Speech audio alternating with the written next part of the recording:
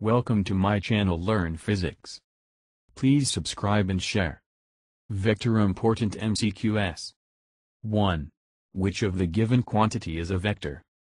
A. Pressure. B. Kinetic energy.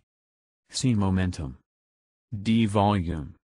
The correct answer is C. Momentum. 2. The vector in space has A. One component. B. Two components. C. Three components. D. Four components. The correct answer is C. Three components. 3. A unit vector is obtained by dividing the vector with A. Its magnitude and direction. B. Its direction. C. Scalar quantity. D. Its magnitude. The correct answer is D. Its magnitude. 4. Unit vector is used to specify A. Direction of a vector. B. Position of a vector. C. Magnitude of a vector. D. Resultant of a vector. The correct answer is B. Position of a vector.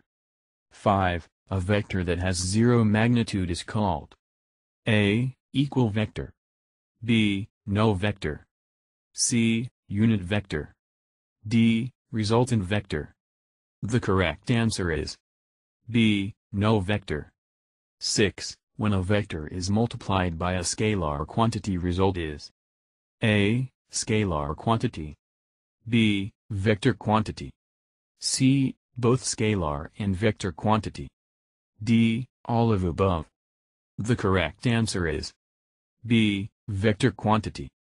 7. A component of a vector is its effective value in a given A. Space B. Plane C. Direction D. Axis The correct answer is C. Direction 8. To add vectors, we add their representation lines by A. Head-to-tail rule B. Right-hand rule C. Hit and trial principle D. None of above the correct answer is A. Head-to-tail rule. 9. Which of the following is not the vector? A. Force. B. Distance. C. Velocity. D. Displacement.